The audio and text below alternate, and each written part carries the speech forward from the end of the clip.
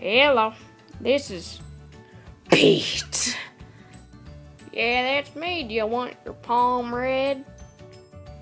Does anyone else work here? Nope, just me. Fine. Let them then. Wait, I need my cape.